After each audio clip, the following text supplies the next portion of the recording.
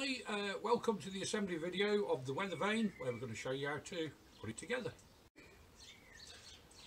We take the wall mounting plate and the arm and thread one through the other, pushing it through.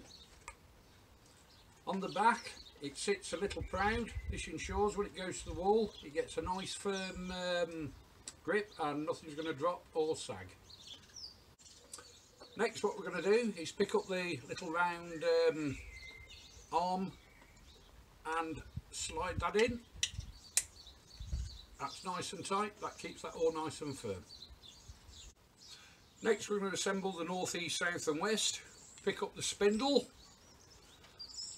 and as you see pre-shaped holes, these waggle in nice and tight, might take a bit of a waggle, that's designed so you don't have to use any super glue obviously north,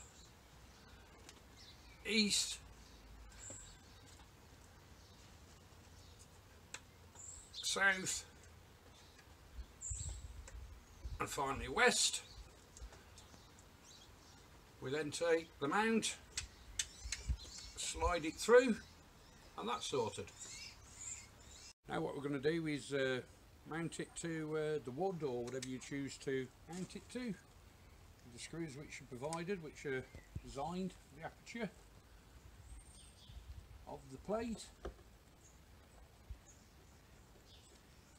Actually mount it nice and level because this aids the uh, weather vane to uh, sit level so therefore it will spin correctly. There we are nice and solid mount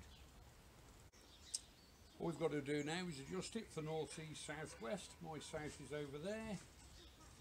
Goes bend round. This is all made from quite flexible plastic, so you can twist it or pull up, spin it, and then drop it into the location. There you are. That's just about south for us. And then the actual uh, weather vane slides in and picks up the wind. And that's it. Now you have your weather vane. Thanks for looking at the video. Hope you enjoy it.